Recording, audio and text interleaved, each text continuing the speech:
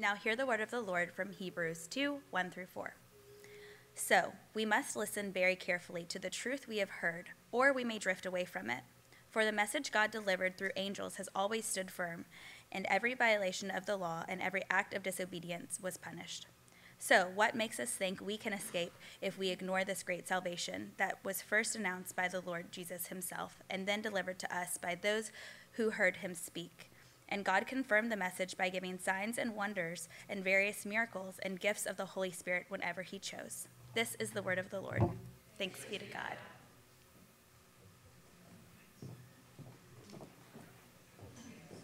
You may be seated. Uh, good morning, Sojourn. Peace be with you. Uh, it's good to see you all. Good to be with you this morning. Uh, my name's Jonah. I'm one of the pastors here at Sojourn. Uh, thanks for coming and being with us. Our, our, mission as a church, the reason that we exist, is to reach people with the gospel of Jesus, the good news of who he is and what he's done, uh, see them built up as his church so that they can follow him as we send them out into his world. And so that's what we do here. It looks all kinds of different ways. We do all kinds of different things, but I'm thankful you're here this morning.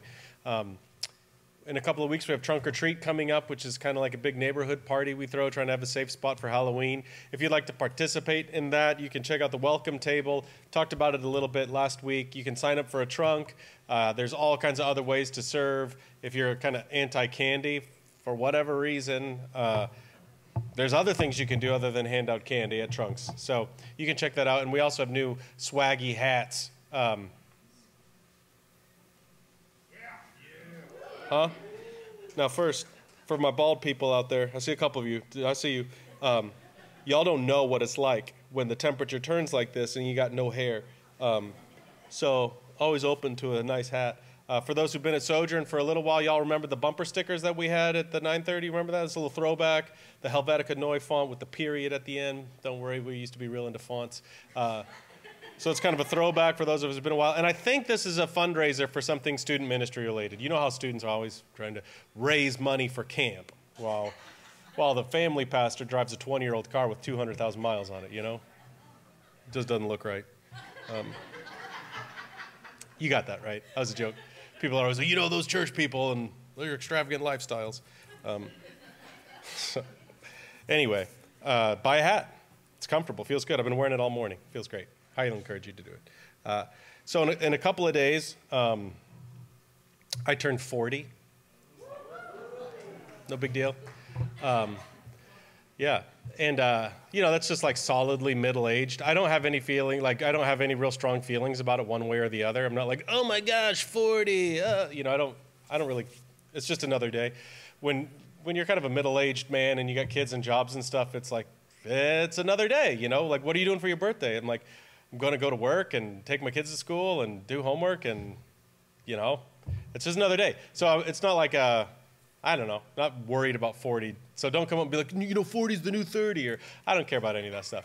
Um, it's just, you know, you think about life by based on the charts. You know, I'm more than halfway through my the time allotted to me. If I make it to fully cooked, you know, um, if I hit life expectancy for U.S.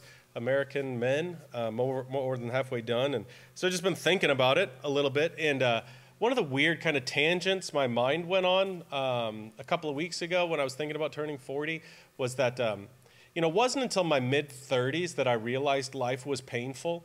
And I don't mean that in the sense of like, like in my mid 30s, I also learned that randomly I will wake up and sleep wrong and my neck will hurt for two months or something like that. That didn't happen to me until my 30s.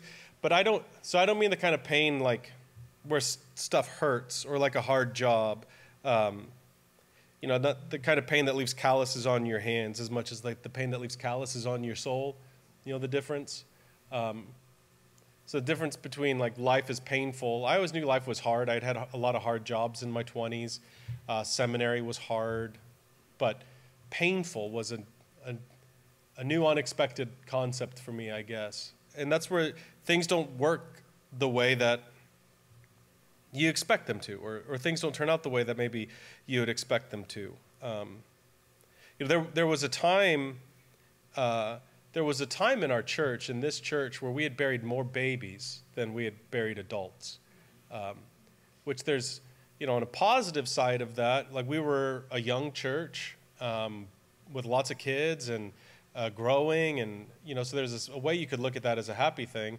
But like when you're preparing to give your funerals, you want to give funerals of like saints who died well, and you can honor their lives, and not not little not little caskets. And um, that was disorienting, and uh, it was painful. There have been long stretches of life in our church that's just filled with suffering and surprises. Which isn't to say only suffering, but it's just been frankly shocking how painful and difficult life can be. Uh, and you know, I'm, you don't have to answer, obviously, but just curious how old you were when you realized life could be painful like that.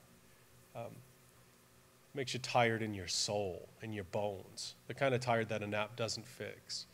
Um, and you don't have to answer this one either, but uh, have you realized Christianity can be that way yet? Um, do you remember how old you were when you realized that the church was run by people? Y'all, you know what I'm saying? Um, and that, you know, people tend to do what people tend to do. Uh, boy, that's been difficult for me. Um, every one of my heroes.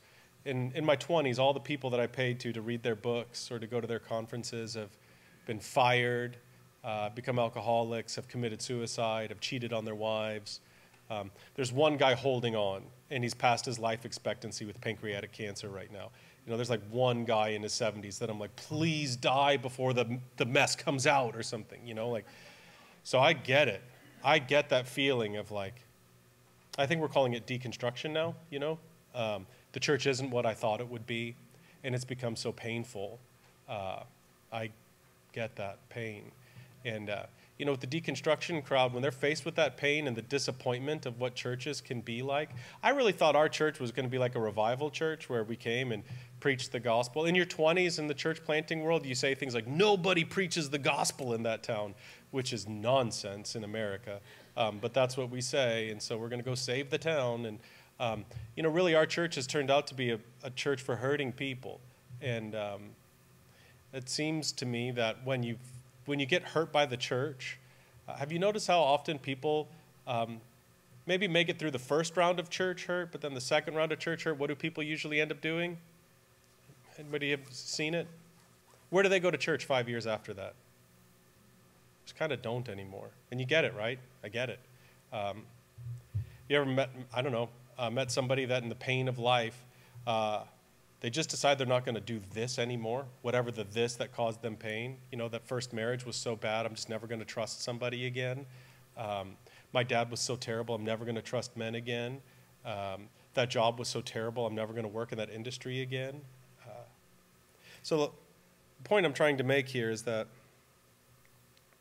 the experiences themselves, whatever it is that maybe you're thinking of right now, those are painful enough. That experience, whatever it is, is unbelievably painful. But if we don't know what to do with the pain, or if as life tends to go, the pain gets multiplied and you go through something similar again, the, when that builds up, the long term effects of this kind of fatigue is so often just to withdraw and say, I'm not going to do this anymore, whatever, whatever the this is. That's what it is for me. And it gets really confusing because for me, my professional life, my spiritual life, my personal life is all just my life. You know, there are people are like, "What do you do when you get off of work?" And I'm like, "I don't do this get off of work thing because when do I? When am I not a Christian? You know what I mean? Is it four o'clock? It's like I'm not a Christian anymore. Sorry about your situation. You know what I'm saying? And so it gets it gets blurry, and there's times where the pain is just so surprising and unexpected and overwhelming that a voice tells me, "Just stop it." And I don't know what it is. Sometimes it feels like this, and I don't, don't raise your hand again, but maybe if you want to, make me not feel so alone. Have you been a Christian long enough that you've tried at least once to stop being a Christian? You know what I'm saying? Where you're like, I just don't, I just don't want to do this anymore. Whatever the this is, and it, it's piling up and it's, it's too much. Um, now, personally, I find a lot of comfort in being able to say things like that out loud uh, because I think those are very biblical things to say. Uh, biblical, not in the sense of uh, that God is like, you should say that.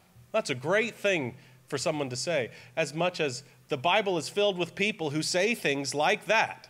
And somehow God, in His wisdom, when he sought to preserve his word and communicate something to us, he kept in their stories of people who said the wrong thing and believed the wrong thing and, and did the wrong thing. And I think in a lot of ways, these are the thoughts of the Hebrews congregation. Because as we journey through Hebrews, this is the first time that we get a really stark warning in Hebrews chapter 2. And you'll see this pattern emerge in the book of Hebrews where there'll be high praise, like the music hits and everybody all of a sudden is in, into it. You know, like when your song hits at the concert and all of a sudden you forget about your troubles and you forget about what's going on and you're focused on something wonderful.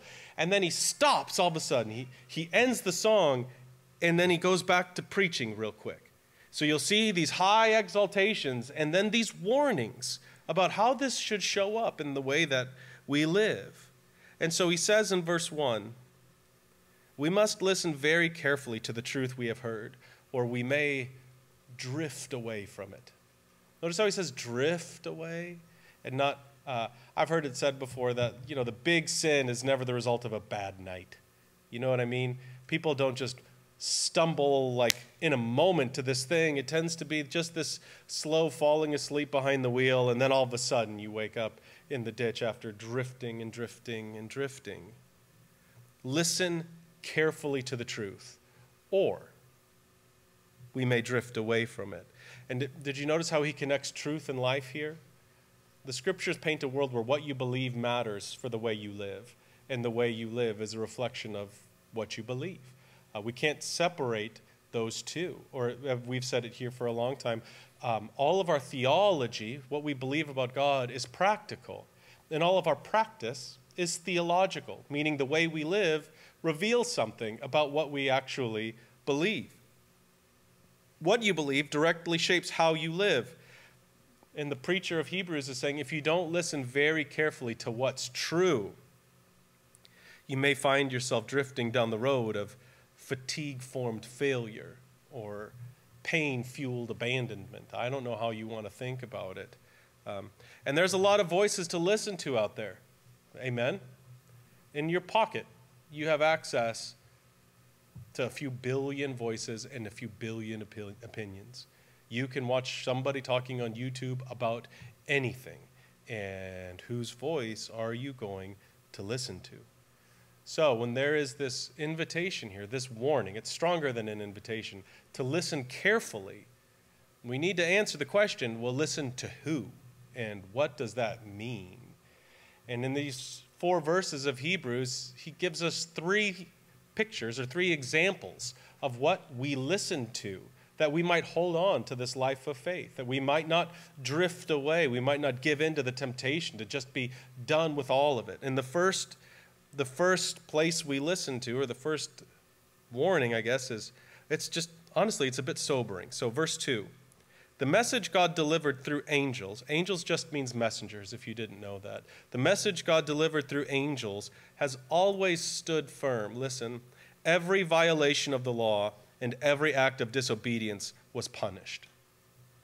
So, on a, on a positive side, uh, let's be thankful that God doesn't change. Um, that God's person doesn't change, his message doesn't change, and his promises don't change. He's not sending one angel to say one thing and another angel to say another thing, which, if you wrestle with the chaos of the world like I do, it's good to be reminded that God does not change. And his promises do not change. His word does not change. He is stable and steady and consistent. Which also means, now on a little bit of the sober, scary side, every time God's laws have been broken, people have been punished. They have felt the consequences of their sin. Now, there is a sense in which uh, throughout history, has God actively punished somebody committing a sin? Meaning, has God done something? Yes. Um, that's a little bit, uh, well, we can have a conversation about that now in light of God's punishment being poured out and fully absorbed on the cross by Jesus. And so there's, there's a different kind of uh, punishment for sin. You might call it the passive punishment for sin, which is so often in life the punishment of sin the consequences of sin are wrapped up in the sin itself. So, meaning, like for a lot of my life, man, like if I got a flat tire, I'd be like, oh, I didn't read the Bible this morning, and God sent a lightning bolt to my tire. And that's, You know what I'm saying? Or like, if I had prayed longer this morning, I wouldn't have hit that nail on the road driving to seminary. I remember having that kind of stuff happen, driving out Grinstead Road or something, and be like, oh my gosh, another. There was a week where I got like three flat tires in two weeks, and I was like, what is the sin? Was it my sin or my father's sin that caused me to get this? You know, that, that kind of idea. But so often, the punishment for sin is wrapped up in the sin itself. And so, come, let us reason together, Christian. Uh, the, the, I'll just warn you, the first service failed miserably at this next question. Does anybody know the ninth commandment? What is the ninth commandment? Number nine out of ten. Yes, thank you. Erin Warmbier. Hey, let's make sure we get her a gold star afterwards. Put her name up with the check plus. Um, uh, yeah, uh, in, in the words of King James, thou shalt not bear false witness um, which does include lying, saying things untrue about your neighbor. Uh, for me, I receive that as to stop exaggerating. That's kind of my, that's the way I break the ninth commandment. I tend to exaggerate, and that'll be things like, How was that hamburger? And I'll be like, Oh my gosh, it will change your life. It was the best ever. You know, that's like, it won't, man. You know, it's just, it's just a hamburger. Uh, but that, so it could mean saying something not true, you know, like just lying, or it could mean like, everybody thinks that about her. And it's like, oh, I mean, you think that about her? Because everybody doesn't think that. You know what I'm saying? So when you lie, which y'all, everyone here's lied, amen? If you didn't amen, you just lied. So now, you know. when we lie, uh, well, I don't want to ask that question yet. Um, what do you think will happen to your relationships if you lie regularly over the span of five years? Will you have more friends or less friends? Less friends if you are a liar, you will find yourself isolated and lonely. Is that because God has struck you down with isolation and, and lonelyism? Um, no. If you lie, people don't trust you. And if they don't trust you, you won't be in a relationship with them. The punishment for lying is wrapped up in lying. If you're a liar, people won't be around you because you're a liar. And I can't trust you. I don't know what you're going to say. Um, is a car accident God's punishment for drunk driving? Do, when you're drunk, well, when someone is drunk, right? Because we don't do that here. Um, that was such a Christian joke because Christians, Christians be drinking. Um, when, when someone is drunk, do they tend to make better decisions or worse decisions? Worse decisions. Why? Because when you're drunk, you're dumb. When you're drunk, you make dumb decisions. So when you get in the car drunk and you run into the mailbox, is that like, did God send you the demon of turning the steering wheel? It's like, no. That's why God says, don't be given to much wine. Don't be a drunkard. Why? Because if you do that, I mean, so often the rules against sin are because if you sin, life will go poorly for you.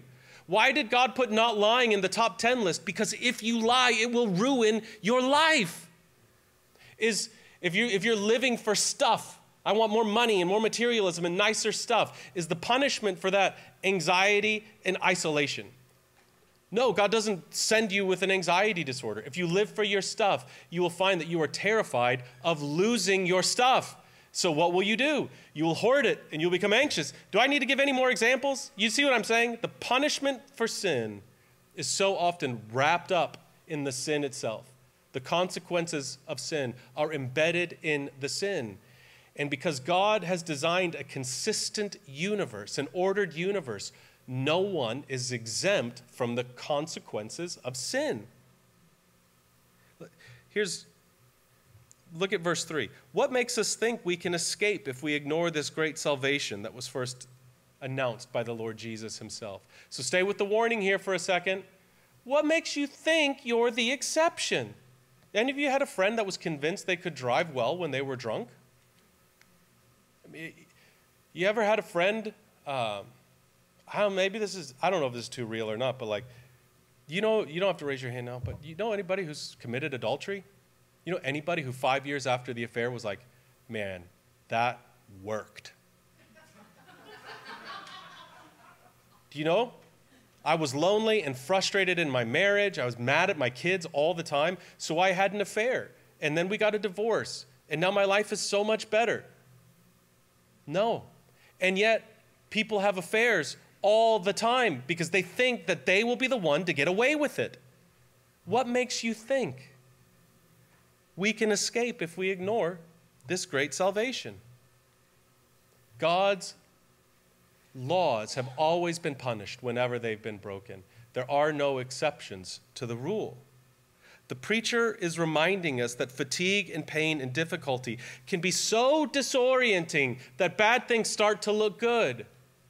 I've known way too many people who've committed adultery, and not one of them, um, not one of them said, "You know what, Pastor?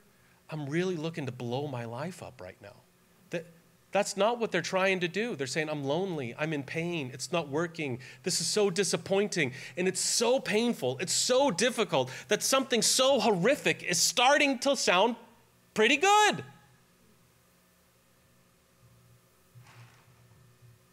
But remember, no one gets away with it.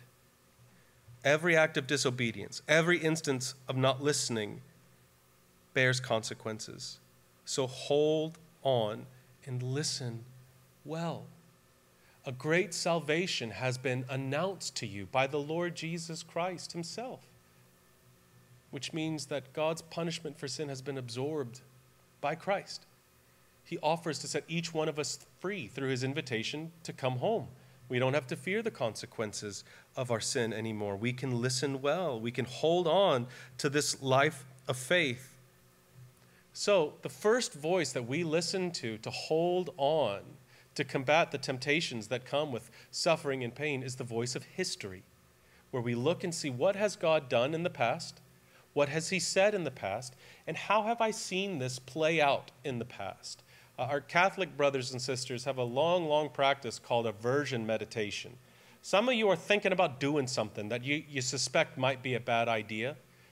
And so, aversion meditation would be meditate on people who have done the same thing and see how that's worked out for them. Or think about all of the consequences that will come from doing this and let that be a bit of an inspiration to move away from it. Think about how badly this will go. No sin goes unpunished. Listen to the voice of history. And then, second, in the present tense, we can listen to the testimony of many witnesses. Verse 3 through 4 this message that was then delivered to us by those who heard him speak. And God confirmed the message by giving signs and wonders and various miracles.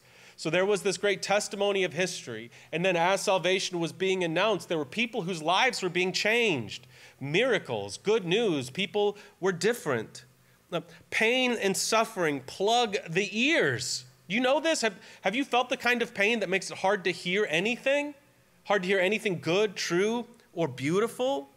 It can become hard to see God in the past. It can be hard to hear Him in the present. So we have to hold on and learn to listen well. Some, again, some will refuse and do what seems right to them. One of the ways we can learn to listen in the present is by reflecting on how it's gone for the people that have done the thing that we feel tempted to do. Another, one of the best questions I've ever learned to ask, and I was it was at a friend's wedding the night before. A bunch of us were sitting around a table, and one of the groomsmen asked the groom, he said to him, Where have you seen evidence of God's grace in your life? And then it just turned into four or five hours of guys telling stories about how the Lord has shown up in our lives. Because uh, have, have you noticed when I don't know if I don't know if you're on the merry-go-round of suffering right now, or if you just got off it, or you're about to get on it. I'm going to tell you, everybody gets a turn. Everybody gets a turn at life being hard and painful and surprising and unexpected. And when you are on that wheel, it can be nearly impossible to believe that anything good can happen to you, that God has anything positive to say to you. And if we can become a people who learn to ask other people, how has He shown up for you? That can help open our ears again to, to hear it and to see it. And listen, especially if you're, if you're solid middle age like me, you know, you're hitting those 40s and you got the kids and the responsibilities and all this stuff is happening.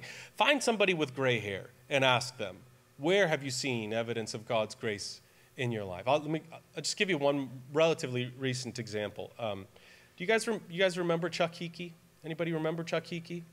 Um, Chuck is one of our, man, I'm going to start crying again. Um, there's been a lot of crying in my life lately. Uh, Chuck Hickey Sr. was one of our recently departed saints. He died Christmas last year. Um, just a giant of a man uh, in terms of his faith and his effect, his presence in our church. If you didn't know Chuck personally, he had a really tough life. Uh, the first 40, 50 years of his life, a lot of pain, really tough life. And I was fortunate to be in a, a community group with Chuck for several years. We were in, he was in my house a lot, and uh, we were sitting in the basement one time, my basement, and um, I was just feeling profoundly discouraged and overwhelmed and in one of those like i don't know if i want to do this anymore whatever the this is.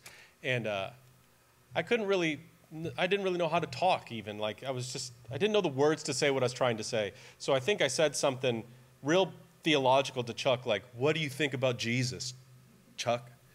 Um, i didn't know how to say it you know I, I wanted to know how he made it you know like how are you like this in light of everything that you've, you've been through? And so I said to him, like, what do you think of Jesus, Chuck? And instantly, he teared up. And you know when someone can't talk because they, they know their voice will break? And he started going like this. He started, you know, tears coming down his cheeks. And all he could manage to say, he just said, He's been so good to me. That's all he could say. He's been so good. And I just saw something on his face. And and Chuck's faith in that moment fueled my faith in that moment. I, I needed the testimony of a witness. And I needed to believe that God still cared for me, that He would be good, that He would carry me. And I asked a ridiculous, simple question. Chuck gave me just a couple of words. But in that moment, it helped me to hold on. Hold on and listen well to the testimony of history listen well to the testimony of your brothers and sisters. And then finally, hold on and listen to the testimony of the Holy Spirit Himself. Verse 4 God confirmed the message by giving signs and wonders, various miracles and gifts of the Holy Spirit whenever He chose. So there's a promise in the Christian life that the Holy Spirit will do something particularly to each one of us. Will will give us certain gifts, will equip us for certain things and will even speak to us in certain ways. And, you know, maybe you're hearing like, did they just say that the Holy Spirit is going to talk to me? That sounds mystical and weird.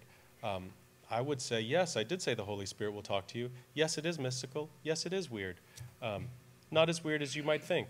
So, let, again, let's reason together. Let's put some of this together, what the, the preacher in Hebrews is talking about. So, if if you want to understand, if you want to listen well to God's history, the story of what God has done and what He's promised to do, where is the best place, the primary source, the first place we would look to find the history of God? Where is it? Somebody say it. The Bible. I don't know who said it, but somebody said it over there. Okay, yeah, that makes sense. Uh, Linda Stepp, ladies and gentlemen. It makes sense that you would say, You're a Bible lady. You know the Bible. You're, you're great at this. Um, the Bible. Uh, I don't know if you know this. One of the things, I'm not from here. I've been here for like more than a decade now, but people still remind me I'm not from here. Strangers remind me. They'll show up and be like, Where are you from? You're not from here. Um, so, one of the things that's been interesting about living here for me is uh, what people think about the Bible. And I don't know if you know this, but um, the Bible is primarily a storybook. Uh, 63% of the Bible is stories, poems, and songs. So, the first thing the Bible is is a history book. The second thing it is is like it's poems and songs. Um, some of you have been told that the Bible is a rule book. Uh, and if you feel that way, just listen. It's not a rule book. Are there rules in it? Yeah, for sure.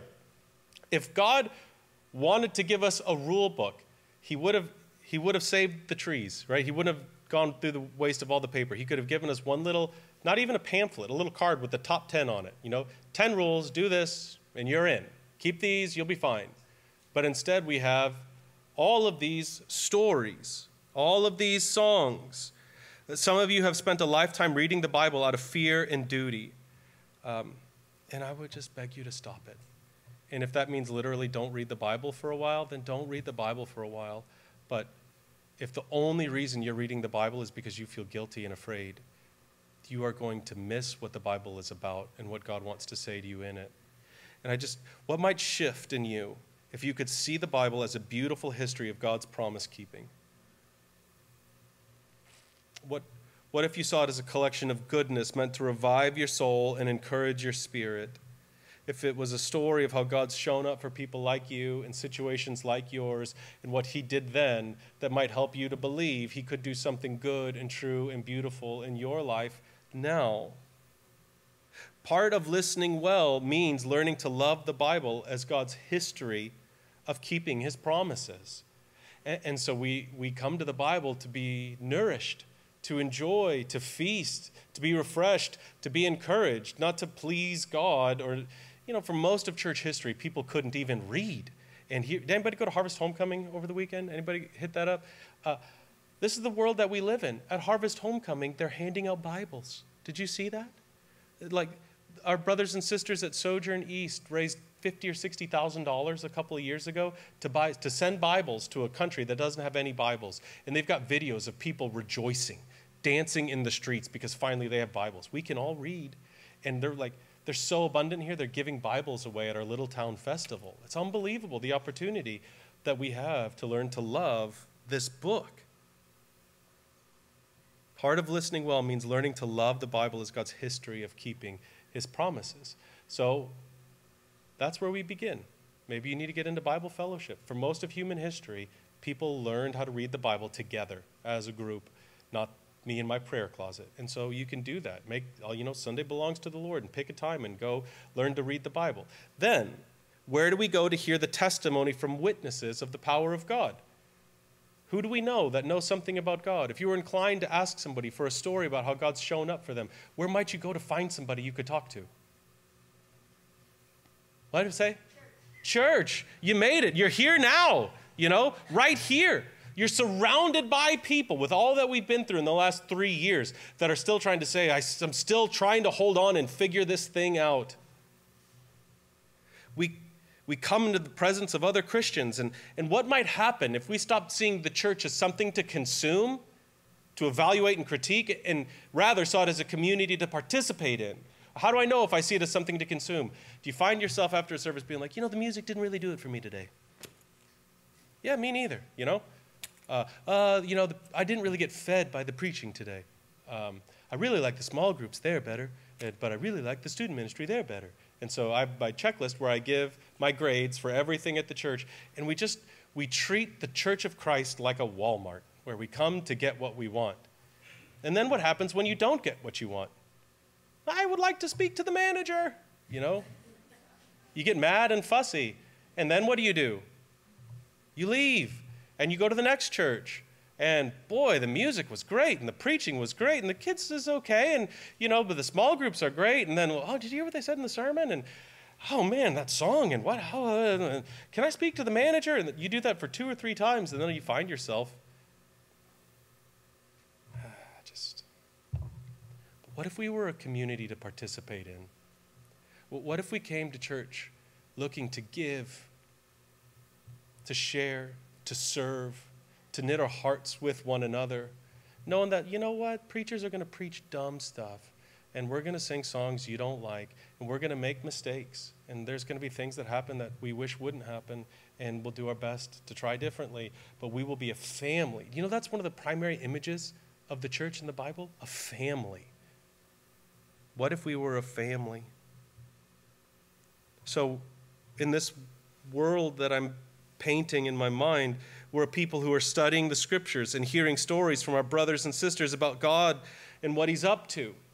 And over time, as we're studying the scriptures and hearing stories about what God has done in other people's lives, our minds being trained to recognize the kinds of things God does we learn to recognize the voice of God. And here's an example Do you know that God does not speak to you in words of condemnation?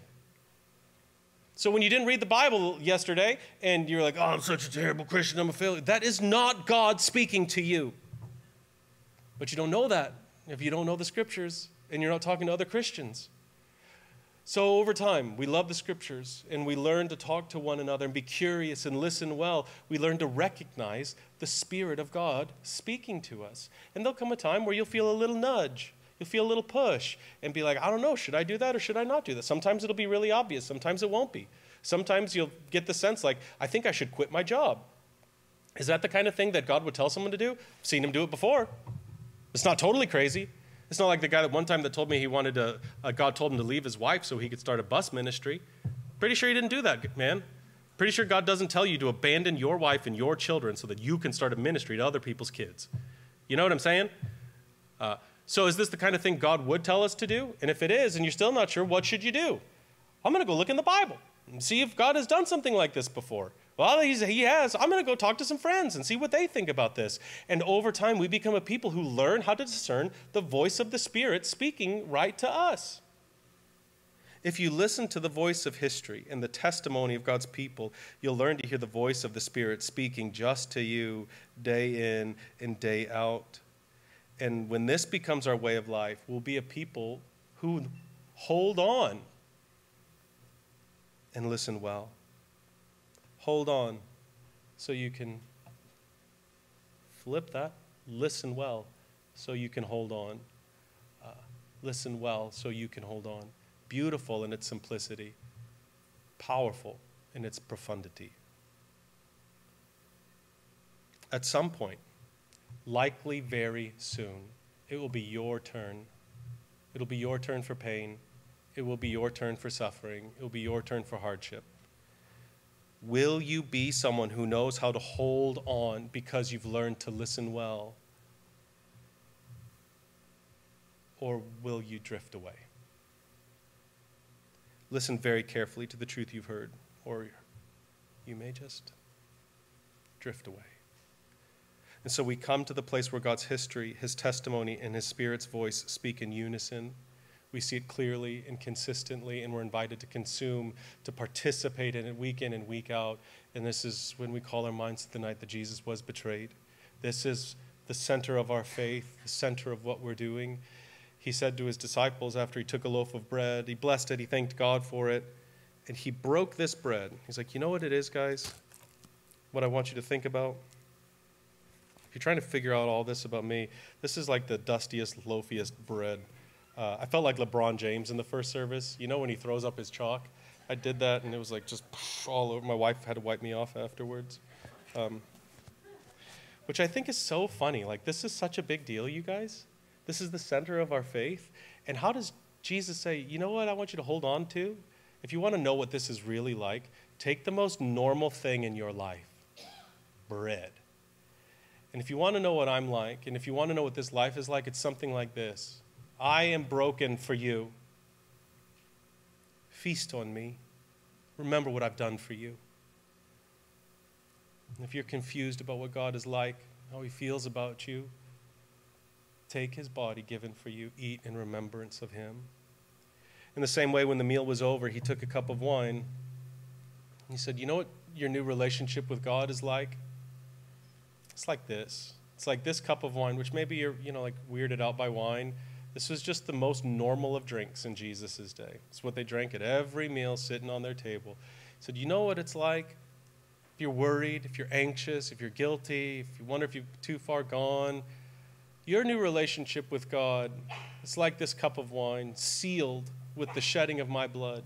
Drink this and remember what I've done for you so that every time we eat or drink, we do so in such a way that reminds us what God thinks of us, what He feels for us, what He's promised to do for us. He's given His body for us, He sealed us in His family by His blood so we can hold on